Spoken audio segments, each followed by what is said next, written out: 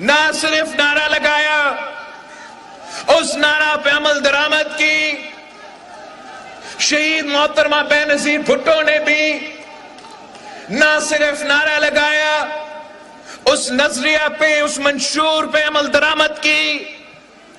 और आज की जो हालात है, उन हालात के मुताबिक बहुत ज़रूरत है कि पाकिस्तान पीपल्स पार्टी के जियाले मेहनत करे, सियासत करे, जदोजहद करे और इसलिए हुकूमत बनाए। इसलिए हुकूमत बनाए कि हमें उसी रोटी, कपड़ा और मकान का नारा पे अमल करना पड़ेगा।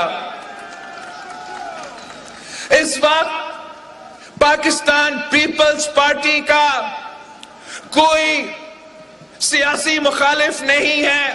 कोई ऐसा सियासी जमात मौजूद ही नहीं है जो मैं इसका नाम लो कहूँ, ये मेरा मुखालिफ है। मैं तो कायदे अवाम शहीद जुल्फिकार अली भुट्टो का नवासा हूँ। मैं शहीद मोहतरमा बेनजीर भुट्टो का बेटा हूँ और मेरा मुखालिफ ये महँगाई है, ये बेरोजगारी है, ये गुर्बत है। और मुझे आपकी साथ की ज़रूरत है, इस मुल्क की आवाम की साथ की ज़रूरत है।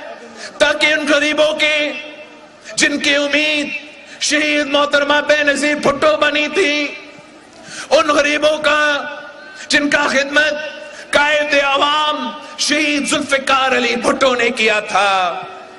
मैं चाहता हूँ कि हमें वो मौका मिले कि उनका खिदमत करें, उनको इस महँगाई की सुनामी से बचाएँ घर घर तक रोज़गार के मौके मेरे नौजवान भाई और बहनों को फरहम किया जाए। इस गुर्बत का हम मुकाबला करें। और मेरा ख्याल में बाकी सियासी जमातों का अब असल चेहरा अवाम के सामने आ गया है।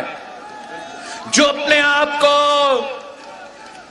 जो अपने आप को तब्दीली नुमाइंदे कहलवाते थे। उन्होंने तब्दीली नहीं तबाही किया। जो अपने आप को वोट की इज़्ज़त के नुमाइंदे करार दिए थे जिन्होंने अपने आप को खिदमत और गवर्नेंस और डिलीवरी के के के, के नुमाइंदा बनाए थे उन्होंने भी अपने आप को उनका असल चेहरा अवाम के सामने आ गया है। वो ना वोट का इज़्ज़त करते हैं, ना खिदमत करने जानते हैं, ना गवर्नेंस करने जानते हैं। वो तो पाकिस्तान महँगाई लीग बन चुके